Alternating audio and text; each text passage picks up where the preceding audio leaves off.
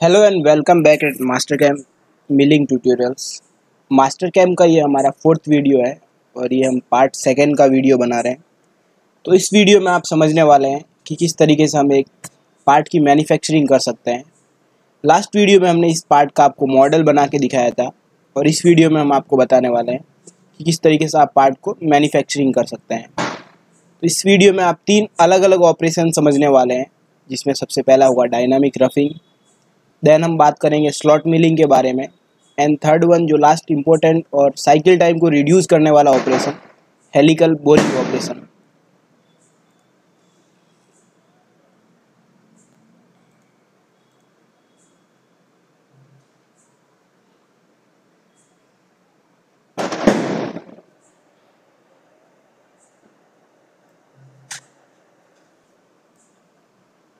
सबसे पहला हमारा जैसा देख पा रहे हैं स्लॉट मिलिंग ऑपरेशन चल रहा है।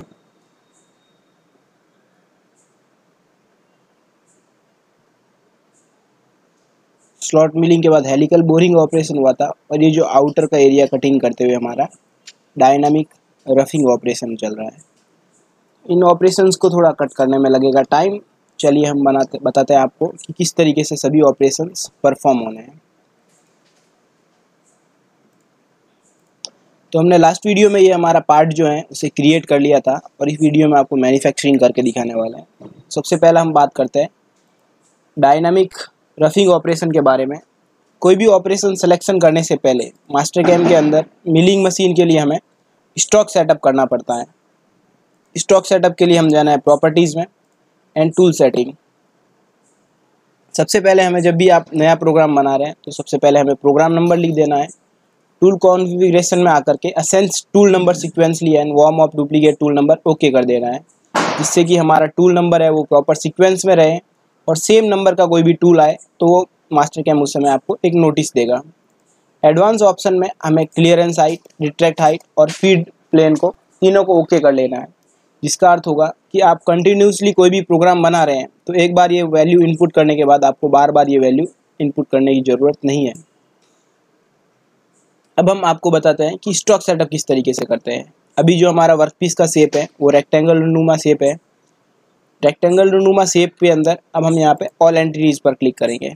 जैसे ही हम ऑल एंटिटीज़ पर क्लिक करेंगे तो जो भी वर्क पीस के अंदर बाहर के सभी डायमेंशन है, उसको ऑटोमेटिकली रीड कर लेगा मास्टर कैम और हमारा स्टॉक साइज़ सेटअप हो जाएगा। जो आपको रेड रेड डॉट करके दिखा रहा है, वो हमारा इस समय वर्क पीस है। अर्थात कि हमारा रॉ मटेरियल है। तो इसके बाद हम सबसे पहले बात करने वाले हैं डायनामिक रफिंग ऑपरेशन के बारे में। डायनामिक रफिंग ऑपरेशन हमारा जो रहता है थर्ड नंबर ऑपरेशन रहता है, जिसे हम डायनामिक मील के नाम से भी जानते हैं। सबसे पहले जैसे ही हम इस ऑपरेशन पर क्लिक करते हैं तो हमारे सामने इस तरीके का एक विंडो पेज ओपन हो जाता है, जिसमें सबसे पहले है मास्टर कैम में सब कुछ चेंज के आधार पर चलता है। तो सबसे पहले हमें मशीनिंग रीजन एरिया सिलेक्शन करना है, कि वो एरिया जहाँ पर हम मशीनिंग करना चाहते हैं। अब हम जानते हैं कि हमें इस एरिए को छोड़ करके आउटर एरिया जब हमें कटिंग करना है तो यहाँ पे हमें फ्रॉम आउटर सिलेक्शन करके फिर मशीनिंग एरिया सिलेक्शन करना है। हमने ये बाहर की तरफ़ एक रेक्टेंगल बनाया था कि ये इस एरिए के अंदर जो हमारा स्टॉक्स एरिया रहेगा तो इसे क्लिक करके ओके पर क्लिक कर लेंगे। देन इसके बाद जो हमें अगला काम करना है, वो है अवॉइडेंस एरिया सिलेक्शन करना है कि कौन सा एरिया आपको मशीनिंग नहीं करना है। तो इस एरो पर सिलेक्शन करेंगे और जो जो हमें एरिया मशीनिंग नहीं करना है, उस पर क्लिक कर लेंगे ताकि जो हमें मशीनिंग नहीं करना, वो एरिया ऑटोमेटिकली सिलेक्शन हो जाएगा। अब हम देखना चाहते हैं कि मास्टर कैम के अंदर जब प्रोग्राम क्रिएट होगा तो कौन सा एरिया मशीनिंग होगा और कौन सा एरिया रहेगा? तो यहाँ पर आप प्रीव्यू चेंज पर क्लिक करके देख सकते हैं। जो हमें रेड डेस्क करके ये सेक्शन व्यू दिखा रहा है, ये एरिया हमारा मशीनिंग होने वाला है। और ये जो अंदर की तरफ़ जो एरिया हमने, जितना एरिया हमें छोड़ना था, या जो हमारा वर्क पीस का प्रोफ़ाइल एरिया है, वो हम छोड़ चुके हैं। देन हम ओके पर क्लिक करेंगे। अब हम टूल सेलेक्शन कर लेते हैं। टूल सेलेक्शन के लिए हम टूल पर आ जाते हैं और हमें जो टूल लेना है, उसके लिए हम फ़िल्टर ले लेते हैं। अब हमने सबसे पहले डायनामिक रफिंग के लिए 16 एम mm का टूल लिया है। यदि टूल किस तरीके से सिलेक्शन करते हैं, इसके बारे में आप डिटेल में जान सकते हैं, जिसका वीडियो हमने already Mastercam milling operations के ट्यूटोरियल में बना करके रखा हुआ है। अब हम सबसे पहले इसके लिए फ़ीड दे देते हैं, ताकि हम जानते हैं कि 16 एम mm का टूल है तो इसके लिए सूट फ़ीड लगभग सोलह और स्पेंडल स्पीड भी 1500 के लगभग रख लेते हैं। और साथ ही हम यहाँ पे कमेंट दे देते हैं। डायनामिक रफ आउटर अब हम आ जाते हैं होल्डर हमें जो भी लेना है हम सिलेक्शन कर सकते हैं। अब हम बात करते हैं आपके सामने कटिंग पैरामीटर्स के बारे में कि कटिंग पैरामीटर में हमें क्या क्या चीज़ें चेंजेज करने की ज़रूरत है। आप यदि इनमें से सभी कटिंग पैरामीटर के बारे में डिटेल में समझना चाहते हैं तो उसका वीडियो भी आपको Mastercam milling tutorials operation में मिल जाएगा। अभी हमें जो इसके लिए जो वर्कपीस बना रहे हैं, इसके लिए हमें stock to leave on walls अर्थात वॉल के अंदर हमें स्टॉक को ज़ीरो कर लेना है। एंड फ्लोर के अंदर भी स्टॉक को ज़ीरो कर लेना है। और जब हम आउटर के एरिया में कटिंग करते हैं तो हमें अप्रोच डिस्टेंस दे देना है। जितना हमारा टूल का रेडियस रहे, उसका थोड़ा सा ज़्यादा। तो अभी टूल का रेडियस जो हमारा एट एम mm है तो हमने approach distance ten M mm ले लिया है। अब हम बात करते हैं डेप्थ ऑफ़ कट अब हम यहाँ पे सबसे पहले डेप्थ ऑफ़ कट देते थे, क्योंकि हम रफिंग ऑपरेशन कर रहे हैं तो हम depth of cut point five तक दे सकते हैं। और फिनिशिंग के लिए जो हमें डेप्थ ऑफ़ कट देना है, वो हमने दे दिया पॉइंट टू नेक्स्ट वन हम बात करते हैं एंट्री मोशन के बारे में, कि हमारा कटिंग करते समय एंट्री किस तरीके से कटेगा। तो हमारे पास ढेर सारे अलग अलग ऑप्शंस रहते हैं, जिसके बारे में वन बाय वन करते हुए हम पढ़ेंगे। बट इसमें हम जो ऑपरेशन एंट्री का ऑपरेशन हम यूज़ करने वाले हैं, वो हम यूज़ करने वाले हैं हेलिकल ऑप हेलिकल हमें सिलेक्शन कर लेना है। और उसके अलावा जो पैरामीटर्स रहते हैं, वो डिफ़ॉल्ट पैरामीटर ही रखने हैं, क्योंकि जो मास्टर कैम के अंदर जो पैरामीटर हैं, वो भी सही रहते हैं, ऐसा गड़बड़ वाला मामला नहीं रहता इसमें। तो हमें जेड एरिया में सबसे पहला रहता है प्लंज एंगल कि एंगल कितना रखना है? Plunge angle and second one रहता है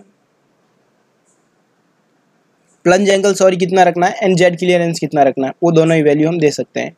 यदि हमें एंट्री थ्रू के पिच के थ्रू चाहिए तो हम पिच वैल्यू भी दे सकते हैं। यदि आप एंगल से देंगे तो थोड़ा सा ईजी पड़ता है। अब हम आउटर में एरिया में कटिंग कर रहे हैं तो break through amount break through का अर्थ होता है कि सपोज़ हमारा 12 एम mm ओवरऑल इस वर्कपीस की थिकनेस है।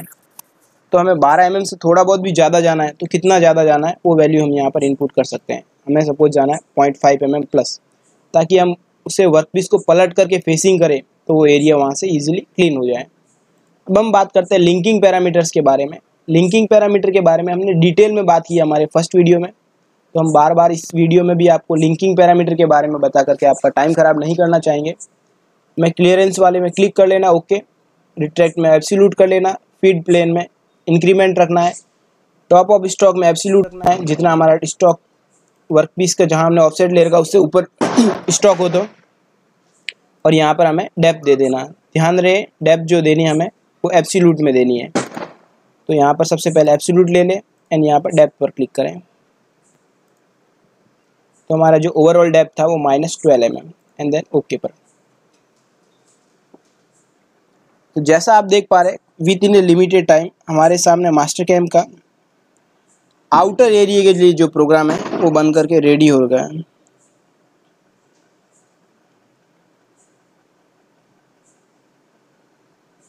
इसी तरीके से हम आपके सामने दूसरे भी ऑपरेशन बनाने वाले हैं। इसके बाद जो नेक्स्ट वन ऑपरेशन हम आपको बना करके दिखाने वाले हैं, वो है हमारा slot milling operation slot milling operation को परफॉर्म करने के लिए हमें जाना सबसे पहले स्लॉट मिलिंग में। स्लॉट मिलिंग में जाने के बाद हमें चेन सिलेक्शन करना है कि कौन से एरिया में आपको स्लॉट कटिंग करना है। तो इसके लिए हमें इस एरिया में स्लॉट मिलिंग बनाना है तो इस एरिया को सिलेक्शन कर लेंगे। एंड देन हम ओके पर क्लिक करेंगे। ओके पर क्लिक करने के बाद हम टूल पर क्लिक करेंगे और जो भी हमें टूल लेना है, हमें टूल सिलेक्शन कर लेंगे। अभी हमें जो टूल लेना है, वो सपोज़ लेना है कि six M M end mill तो हमने सिक्स पर सिलेक्शन कर लिया और यहाँ पे एंड मील पे सिलेक्शन कर रखा है। एंड देन ओके पर क्लिक करेंगे। तो हमने यहाँ पर सिक्स एम का एंड मील सिलेक्शन कर लिया है। अब हमें इसके लिए फ़ीड दे देते हैं। फ़ीड सिक्स एम का एंड मील है तो थोड़ा सा कम रखना पड़ेगा और स्पेंडल स्पीड थोड़ा सा हमें ज़्यादा रखना पड़ेगा। और हम यहाँ पे कमेंट में दे देते हैं स्लॉट मिली ध्यान रहे, जो भी आप कमेंट लिखते हैं तो आपका जब भी ऑपरेशन स्टार्ट होगा तो उस समय यहाँ पे आपका कमेंट ही प्रोग्राम सब प्रोग्राम नंबर या सब प्रोग्राम नेम की तरह कमेंट लिखा हुआ आएगा। देन हम बात करते हैं कटिंग पैरामीटर के बारे में। यदि कटिंग पैरामीटर में जो हमें चेंजेस करने हैं, वो है stock to leave on walls zero zero M and stock to leave on floor यदि आप स्टॉक रखना चाहें तो यहाँ पर स्टॉक भी रख सकते हैं। अब हम बात करते हैं रफ और फिनिशिंग पैरामीटर के बारे में। तो सबसे पहले हम बात करेंगे एंट्री रैम्प एंट्री अर्थात एंट्री आप किस तरीके से रखना चाहते हो? हमारी जो एंट्री है, वो हम रैम के फॉर्मेट में रखना चाहते हैं। रैम फॉर्मेट में एंट्री रखने का सबसे अच्छा बेनिफिट ये है कि जो टू आपका टूल जो वियर होने के चांसेस रहता है, वो काफ़ी ज़्यादा कम हो जाता है। और प्लंज एंगल जो है मोस्टली हम थ्री डिग्री रखते हैं। अब हम बात करते हैं रफिंग के लिए। आपको स्टेप ओवर कितना रखना है? अर्थात एक कट होने के बाद नेक्स्ट कट के लिए स्टेप ओवर क्या रखना है? वो वैल्यू हम यहाँ से सिलेक्शन कर सकते हैं। ध्यान रहे स्टेप ओवर जो हम मैक्सिमम जो कटर है, उसका फिफ्टी परसेंट से सिक्सटी परसेंट ही रखते हैं। उससे ज़्यादा स्टेप ओवर ना रखें अदरवाइज़ आपका टूल काफ़ी जल्दी क्लियर हो जाएगा। अब हम बात करते हैं डेप्थ ऑफ़ कट के बारे में। डेप्थ ऑफ़ कट हम दे देते हैं पॉइंट टू फिनिशिंग के जो डेप्थ ऑफ़ कट है, दे देते हैं पॉइंट वन जो मैक्सिमम रफ स्टेप है, इसका अर्थ हो गया कि आपका हर बार कितना डेप्थ ऑफ़ कट लेते हुए कटिंग करेगा। और max rough finish sorry finish cut है तो जिसका अर्थ हो गया कि आपका फिनिशिंग में कितने कट होगा? यदि आप नंबर ऑफ़ फिनिश पासेस देना चाहते हो सपोज़ मैं दो फिनिश पासेस देना चाहता हूँ तो यहाँ पर फिनिशिंग के अंदर पॉइंट वन के दो कट लेगा, जो कि हमारे लास्ट कट होंगे। अब हम कीप टूल डाउन कर लेते हैं, जिससे कि हमारा टूल बार बार रिट्रैक्ट नहीं लेगा और साइकिल टाइम थोड़ा सा सेव हो जाएगा। अब हम बात करते हैं ब्रेक थ्रू अमाउंट जैसा हम ड्राइंग में देख पाएँगे कि इसका जो स्लॉट मिलिंग है, वो मैक्सिमम पाँच एम एम डेप्थ है तो हमारा थ्रो नहीं है तो हमें ब्रेक थ्रो को नहीं सिलेक्शन करेंगे। अब हम नेक्स्ट वन बात करते हैं लिंकिंग पैरामीटर के बारे में। लिंकिंग पैरामीटर में हमें सबसे जैसा लास्ट में हमने ऑपरेशन में बात की थी, सभी पैरामीटर क्लियरेंस एब्सोल्यूट रखेंगे retract value absolute feed plane increment top of the stock है नहीं तो ज़ीरो ज़ीरो और यहाँ पे हम एब्सोल्यूट लेकर के डेप्थ सिलेक्शन कर लेंगे। जो हमारी डेप्थ है, ये जो स्लॉट एरिया है, यहाँ से हम डेप्थ पर लेकर के क्लिक कर सकते हैं। और यदि हमें वैल्यू है, पता है तो हम चाहें तो डायरेक्टली भी इनपुट कर सकते हैं। तो गाइस यहाँ पे हम आपके सामने जो स्लॉट मिलिंग ऑपरेशन है, उसके लिए भी प्रोग्राम जो है, बन चुका है। इसके बाद जो हम अगला ऑपरेशन करने वाले यहाँ पे हेलिकल बोरिंग ऑपरेशन का करने वाले हैं। लेकिन आप ध्यान रहे, जब कभी भी आप इस तरीके के बोर में हेलिकल बोरिंग ऑपरेशन परफॉर्म करें तो सबसे पहले आप इसमें सेंटर ड्रिल कर लें देन ड्रिल ऑपरेशन कर लें उसके बाद ही हेलिकल बोरिंग ऑपरेशन को परफॉर्म करें। लेकिन मेरे ख्याल से आपको मालूम है कि ड्रिलिंग और सेंटर ड्रिलिंग ऑपरेशन कैसे होना है तो मैं आपको direct helical boring operation perform करके दिखाने वाला हूँ। हेलिकल बोरिंग ऑपरेशन काफ़ी ज़्यादा आपका टाइम सेविंग करता है तो यहाँ पे हम आ जाते हैं हेलिकल बोरिंग ऑपरेशन सबसे आप में पहले हमें सिलेक्शन कर लेना है कि कौन सा सर्किल हमें करने वाले हैं। तो एंटिटीज़ पर क्लिक करेंगे एंड सर्किल सेलेक्ट करके एंड सिलेक्शन कर देंगे एंड देन ओके अब हम बात करते हैं टूल के बारे में तो हम टूल लेने के लिए सिलेक्ट लाइब्रेरी पर जाएँगे और हम टूल जो लेने वाले इसके लिए फिर से हम फ़िल्टर में चले जाते हैं। ढेर सारे टूल आ रखे हम नन पर क्लिक करेंगे और 10 एम mm का एंड मिल ले लेते हैं। And okay okay. बाकी सभी पैरामीटर लगभग सेम रहेंगे। अब हम बात करते हैं कटिंग पैरामीटर में। कटिंग पैरामीटर में जो हमें वॉल का एरिया जो कि जितना छोड़ना है, यदि आप स्टॉक रखना चाहो वॉल्स पे तो स्टॉक रख सकते हो। एंड फ्लोर पे भी स्टॉक रखना चाहो तो स्टॉक रख सकते हो। यहाँ पे आप स्टार्ट एंगल एंड एंगल ये सभी नॉर्मल्स रहते हैं कि आप स्टार्टिंग कितने डिग्री से होगा, अर्थात 90 डिग्री से होगा। एंटर आर्क स्विप 180 डिग्री जिसका अर्थ है कि आप जो स्टार्टिंग होने वाला, ये 90 डिग्री से होगा, फिर 180 डिग्री तक वो जितना हम पिच वैल्यू देंगे, वहाँ तक ले लेगा एंड देन नेक्स्ट फिर उसी तरीके से वैल्यू घुमाते हुए आगे बढ़ेगा। अब हम बात करते हैं रफ और फिनिश पैरामीटर के अंदर। ये इम्पोर्टेंट पैरामीटर रहता है कटिंग पैरामीटर के अंदर। जिसमें सबसे पहला रहता है रफ प्लंज अर्थात आपका एक बार में, एक बार हेली घूमेगा तो कितना हमारा एरिया जो है कटिंग करेगा। तो हमने थ्री एम mm आ रहा है तो हम इसे टू एम mm तक ले लेते हैं। एंड नेक्स्ट वन है feed rate at finish depth जहाँ पर हमारा फिनिशिंग के अंदर जाएगा टूल तो हम फिनिशिंग के अंदर कितना फ़ीड रेट रखना है, वो वैल्यू हम यहाँ पर दे देते हैं। यदि आप फिनिशिंग के पैरामीटर भी सिलेक्शन करना चाहें तो यहाँ से सिलेक्शन कर सकते हैं। देन हम बात करते हैं लिंकिंग पैरामीटर के बारे में। लिंकिंग पैरामीटर में clearance zero retract absolute feed plane incremental top of stock zero और डेप्थ के बारे में हम बात करते हैं।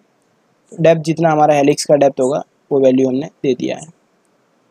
अब मज़े की बात यह है कि हमें थोड़ा सा जो डेप्थ है थ्रो होल है तो हमें थोड़ा सा डेप्थ जो है, उसको बढ़ा लेंगे। तो माइनस ट्वेल्व की बजाय माइनस थर्टीन पॉइंट ज़ीरो कर लेते हैं, ताकि हमारा जो थ्रो होल ईजीली बन सके। तो जैसा आप देख पा रहे हैं, हमारा इजीली हेलिकल बोरिंग के बारे में ऑपरेशन बन चुका है।